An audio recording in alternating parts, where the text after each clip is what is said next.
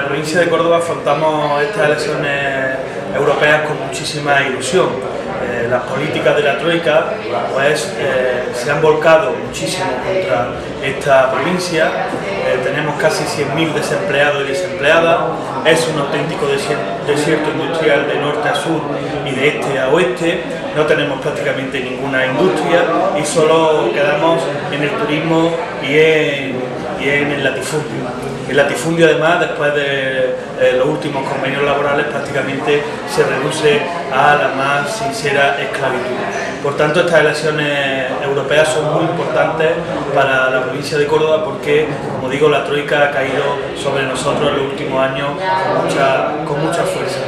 Y se pueden cambiar las cosas, se puede cambiar votando a Izquierda Unida, la izquierda plural, el próximo día 25. Se puede cambiar para reindustrializar la provincia de Córdoba, para conservar las empresas públicas y se puede cambiar eh, para mantener todos los servicios públicos, la sanidad pública y la educación pública. Por lo tanto, sí se puede, se pueden cambiar las cosas y para eso hay que votar el 25 a Izquierda Unida.